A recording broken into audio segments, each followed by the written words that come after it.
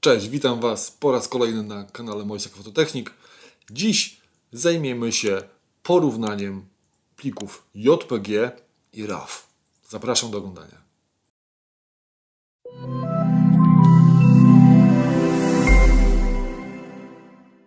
Porozmawiamy zatem o tym, jaka jest różnica między plikami e, JPG i RAW. Słuchajcie, e, w poprzednim odcinku opowiadałem Wam, jakie są metody kompresji takich plików, e, jaka jest metoda kompresji plików JPG i już o tym wiecie. Natomiast e, jaka jest różnica między RAWem a JPG w momencie, kiedy RAW nie ma kompresji, to jest chyba logiczne, że dostajemy dużo więcej informacji, prawda? W momencie, kiedy fotografujemy w JPEG-u, niestety nie wszystkie informacje z pliku jesteśmy w stanie wyciągnąć. E, teraz pokażę Wam, jaka jest różnica, taka główna, jakie są różnice między tymi dwoma formatami plików, dlaczego warto używać RAWów, jeżeli nie macie możliwości podglądu swoich RAWów, bo głównie, głównie tutaj e, z, z, wywiadu, który przeprowadziłem, po co ludzie fotografują w JPEGach także, czyli RAW i JPEG na, obok siebie, mm, po to głównie, żeby mieć podglądy zdjęć, czyli miniaturki JPEGów się wyświetlają i widzimy jakie o, o jakie zdjęcie chodzi, aczkolwiek obrabiamy zdjęcie RAW, które ma dokładnie taką samą nazwę, aczkolwiek inne rozszerzenie. Niektóre komputery e, nie mają możliwości podejrzenia tych plików bez specjalistycznego oprogramowania, e, czy ze stajni Adobe, czy ze stajni e, innych, innych producentów, czy właśnie z mm, oprogramowania, które jest dostarczane przez producentów aparatów. To tak jak mówiłem, e, porównamy sobie pliki RAW i JPG. Mam tutaj zapisane pliki, jak widzicie, RAW i JPG. E, trzy różne pliki zapisałem. Najpierw uruchomimy może pliki JPG, abyście mogli zobaczyć, jak wyglądają. E, trzy pliki. Ten plik jest delikatnie prześwietlony. Ten plik jest taki, jak aparat twierdził że będzie wszystko ok, czyli e, ekspozycja jest na 0 EV, czyli światłomierz zmierzył, wszystko jest ok. Ten plik jest delikatnie niedoświetlony. E, jak widzicie, mam te same pliki mam w RAWach i w JPEGach. I teraz zobaczcie. Plik, który jest plik, który jest e, w JPEGu jest prześwietlony, jeżeli chciałbym go ściemnić, no to oczywiście się da go ściemnić, prawda? Wszystko tutaj działa, wszystko jest ok, ale zobaczcie, co się dzieje w momencie, kiedy ja chcę odzyskać nasze niebo. Nie jestem w stanie nic z tym zrobić. Zobaczcie, co się tutaj dzieje. Totalnie brak informacji, zaczyna wszystko szumieć, nie ma płynnego przejścia kolorystycznego między, między e, w tym gradiencie od jasnego niebieskiego do ciemniejszego niebieskiego. Jak widzicie, no słabo to wygląda, szczególnie, szczególnie to niebo. Tak samo tutaj, tutaj to oczywiście jak ściemniałem całość, wszystko, wszystko praktycznie znikło. E, jeżeli byśmy chcieli e, sprawdzać, mm, jeżeli byśmy chcieli sprawdzać, słuchajcie, e, zdjęcie, które jest prawidłowo doświetlone, ja także poziomami będę, postaram się tutaj to troszeczkę powyrównywać to jest zdjęcie moim zdaniem jest troszeczkę za ciemne wyszło, ale jesteśmy w stanie tutaj trochę rozjaśnić, prawda? Mm, także widać, tutaj widać wszędzie, jak wygląda e, przejście, jak wyglądają przejścia tonalne. Też tutaj jakieś dziwne, dziwne rzeczy się dzieją. Ja tutaj powiększę to, żebyście zobaczyli. Mm, może nie ma takich ekstremalnych, e, brzydkich przejść kolorystycznych, natomiast widać, że tutaj jakiś dziwny kolor się wdarł, prawda? Zaczyna to szumieć średnio to wygląda. E, zdjęcie, które jest niedoświetlone, oczywiście tutaj będzie najlepiej, jeżeli, będzie, jeżeli chodzi o, o samo niebo. Ale także, zobaczcie, tutaj wszystko jest ok, a tutaj w rogu, tutaj w rogu widać, widać jakieś dziwne, jakieś dziwne przejścia kolorystyczne, takie ząbkowania, prawda? Nie należy takich zdjęć brać w ogóle pod uwagę, no bo musicie się później zajmować obróbką, żeby takie coś zniwelować. Teraz pokażę Wam te trzy zdjęcia, mm, te, te trzy zdjęcia e, w, w rawach, jak wyglądają. Już tutaj się otwiera wszystko. Zobaczcie, jak to wygląda. Mamy to zdjęcie, które jest na samym początku zrobione, jest prześwietlone. Jeżeli chcieli, chcielibyśmy je zgasić. Widzieliście, jak wygląda gaszenie zdjęcia w JPEG-u. No wygląda to słabo. Wygląda to słabo. Zobaczcie teraz na to. Tutaj mam taką opcję jak ekspozycja i możemy sobie śmiało tą ekspozycją zjechać w dół i zobaczcie, że ja cały czas mam idealne kolory. Nic mi tutaj, nic mi tutaj żadnego ząbkowania nie widać, prawda? Ja teraz przewijam zdjęcie, ono jest dość mocno powiększone, ale widzicie ile jest szczegółów. Znaczy szczegółów. Nie ma takiego brzydkiego, nie, niepłynnego przejścia kolorów. Jest wszystko cały czas super, prawda? E, no, ekspozycja jest na prawie minus 3. Weźmy sobie następne zdjęcie. Tutaj mamy to, co aparat stwierdził, że jest ok. Moim zdaniem ono jest trochę za ciemne, zresztą po histogramie także widać, że tutaj w jasnościach nie mamy żadnych informacji. Jeżeli byśmy chcieli to doświetlić mniej więcej tak, jakby powinno być, to co uważam, że być powinno, tutaj nie dotyka z jednej strony, tutaj nie dotyka z drugiej strony, aczkolwiek ten czerwony kolor gdzieś tutaj jest, pojawił się przepalony, ale możemy samymi światłami jeszcze to zgasić i zobaczcie, że zaczyna mi, no oczywiście ja to robię bardzo, bardzo, e, że tak powiem, drastycznie i bardzo gwałtownie te wszystkie e, jasności światła i cienie wyciągam tylko i wyłącznie po to, żebyście zobaczyli, że naprawdę z RAWa da się to zrobić. Da się to zrobić. No i teraz porównajmy sobie, jeżeli ja będę chciał to zdjęcie, pierwsze, które mam, tutaj doprowadzić do takiego samego poziomu, no to tutaj mam, też jest całkiem ładnie. Mm, ale zobaczcie, kolorystyka jest także inna, prawda? Kolorystyka jest także inna. Weźmy sobie zdjęcie, które jest niedoświetlone. To zdjęcie jest niedoświetlone. Widać na histogramie, że także tutaj brakuje informacji, nawet od tych wszystkich szarości, cieni i w jasnościach już nic nie ma, więc spróbujmy to troszeczkę kopnąć, tak żeby było dobrze. Zobaczcie, doświetlam to o plus 3 EV, bo mniej więcej tyle, e, tyle takie były granice e, w momencie, kiedy robiłem JPEGi. I zobaczcie, jeżeli, jeżeli 3EV doświetliłem to zdjęcie już w samej obróbce RAW, to zobaczcie, że tutaj dalej mam całkiem, całkiem przyzwoite, całkiem przyzwoite przejścia tonalne, znaczy całkiem przyzwoite. Nie widać prawie takich ząbków, brzydkich przejść kolorystycznych e, i całkiem przyjemnie to wygląda. Mm, dodatkowo możemy tutaj sobie jeszcze stosować filtry połówkowe, czyli sam, samym filtrem połówkowym możemy sobie zgasić coś, prawda? Czyli e, oszczędzamy na filtrach połówkowych tych zakładanych na obiektyw. Oczywiście to nie jest to samo, to, to, jest, to jest namiastka tego, ale da się to zrobić. Zobaczcie, że mogę sobie jeszcze tutaj, gdzie jest ta zielona kropka, mogę sobie jeszcze tutaj sobie gasić, mogę sobie filtr kolorowy ustawić na przykład, prawda? I e, będzie przejście tonalne właśnie w tych kolorach. Widać już tutaj, że sam RAW ma gigantyczną, wie, gigantycznie więcej informacji niż, e, niż sam JPEG. Teraz zobaczcie, jest taki, możemy, możemy zrobić, ja to anuluję. E, tak, anulujemy wszystko, co było. E, weźmy sobie na przykład to zdjęcie, które było prześwietlone i także do kamera RAW wrzućmy to. Da się kamerę RAW używać na samym JPEG-u, natomiast nie ma tak spektakularnego efektu. Zobaczcie, jeżeli samą ekspozycję będę zmniejszał, to już, już, już tutaj nam się zaczynają pojawiać. Nie wiem, czy tutaj na, e, na, na filmie to będzie widać, ale u mnie bardzo, bardzo, bardzo dobrze widać te takie bardzo brzydkie, płyn, niepłynne przejścia kolorów. Widać, że inne kolory się wdzierają i nie wygląda to zbyt dobrze.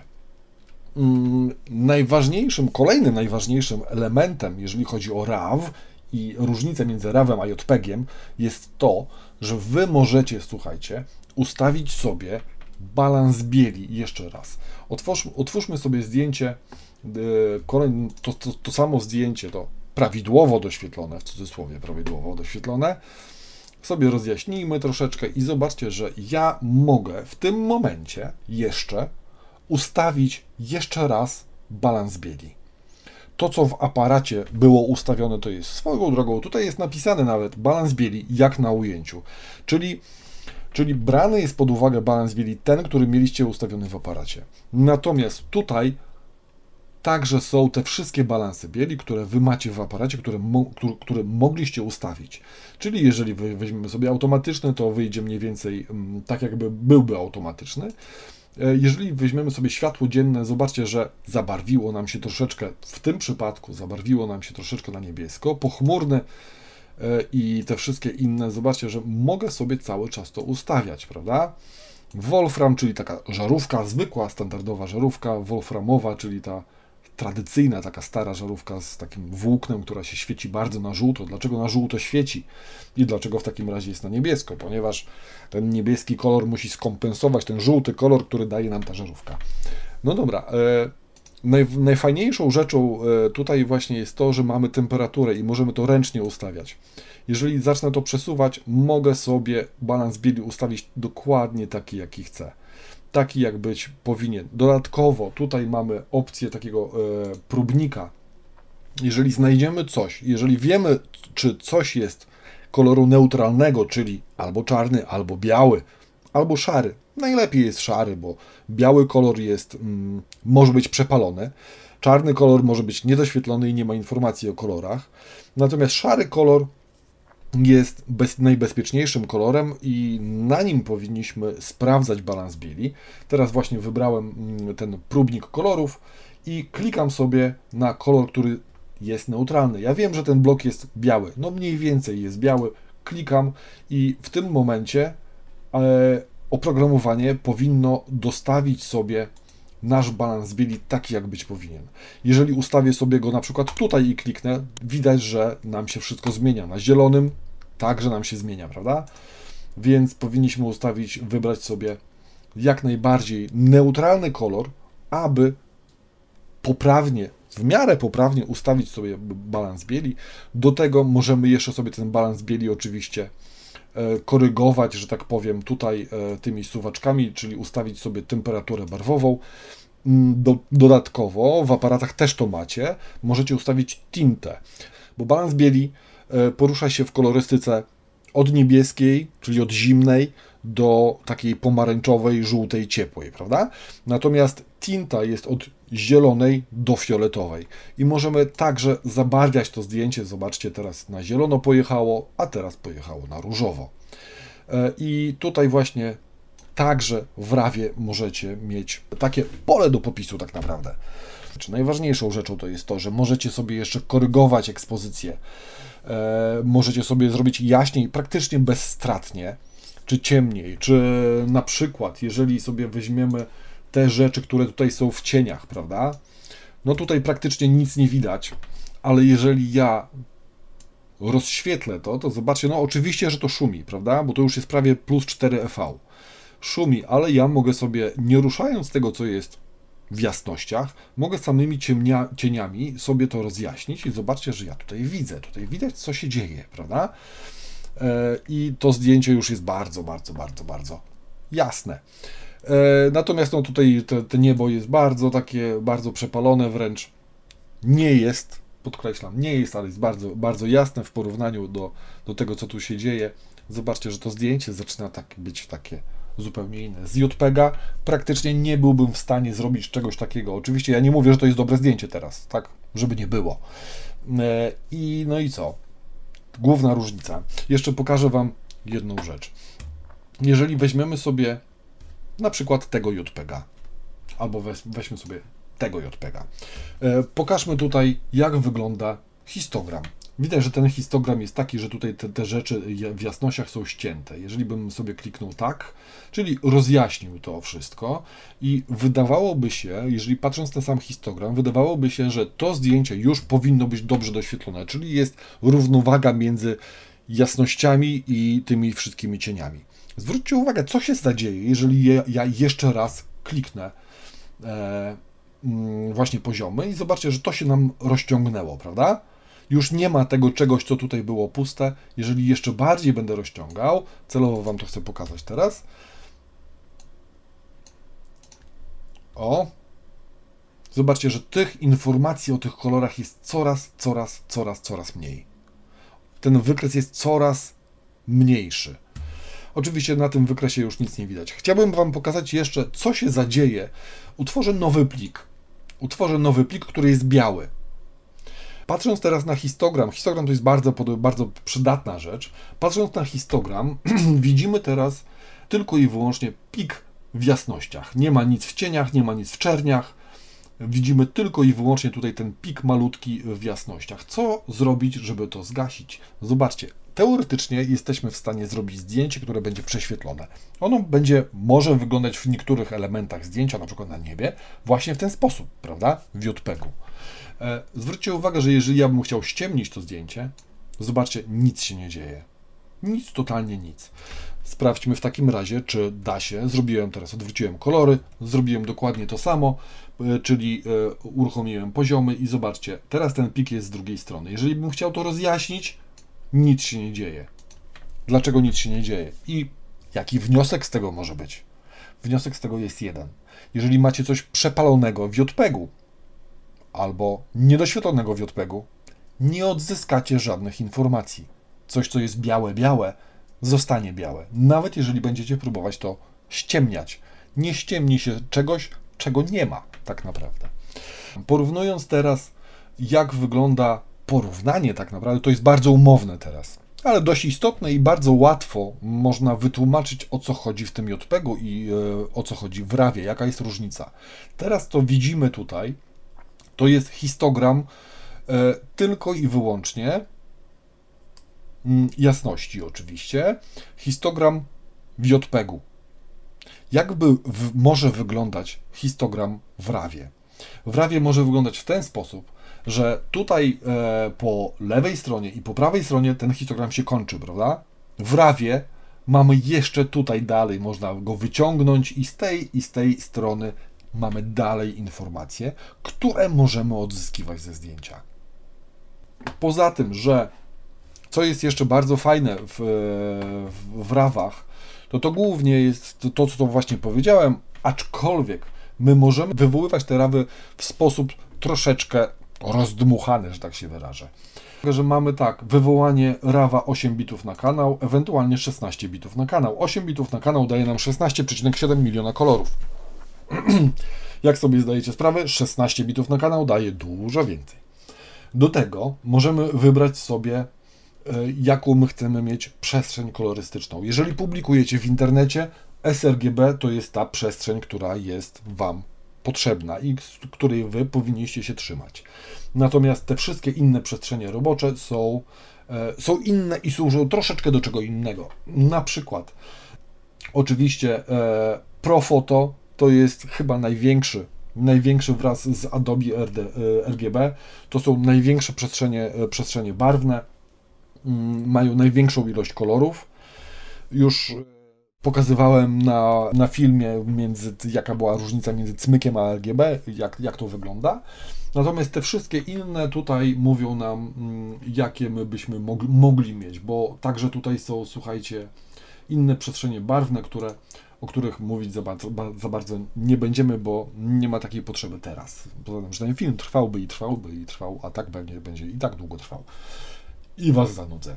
Tutaj e, w samym rawie standardowo jest wrzucone, przynajmniej u mnie, e, domyślny 30,1 megapiksela. Jeżeli dostosuję rozmiar i sobie wybiorę na przykład, ja zawsze wybieram długi bok. Jeżeli wybiorę sobie długi bok, a mam e, standardowo, słuchajcie, tutaj bodajże 6720 na długim boku, ja mogę sobie wybrać na przykład, nie wiem, 15 tysięcy i ten plik będzie już miał 150 megapikseli i on będzie całkiem dobrze wyglądał. E, z RAWa da się bardzo ładnie rozdmuchiwać te zdjęcia. Oczywiście ja tutaj rozdmuchałem dość konkretnie z 30 do 150 megapikseli. Natomiast e, tak, jeżeli mam 30, no to tak 10, 15, 20% mogę bez żadnego problemu powiększyć to zdjęcie i później z tym zdjęciem sobie walczyć, pracować i e, to, że mamy tak naprawdę interpolowaną tą rozdzielczość już, czyli już jest większa, sztucznie powiększona, zoomowana, to, e, to i tak, i tak jakość jest na tyle dobra z, RAWa, że jesteśmy w stanie to robić. Mam nadzieję, że wyjaśniłem dość, dość dokładnie, jaka jest różnica między mm, tymi dwoma formatami plików, RAW i JPEG, dlaczego warto, dlaczego warto e, fotografować w RAWach i mam nadzieję, że ta informacja, e, te informacje, które Wam przekazałem w tym odcinku, się Wam do czegoś przydadzą e, i będziecie byli bardziej świadomi tego, co robicie przy fotografowaniu. Dzięki śliczne, trzymajcie się. Do następnego, hej.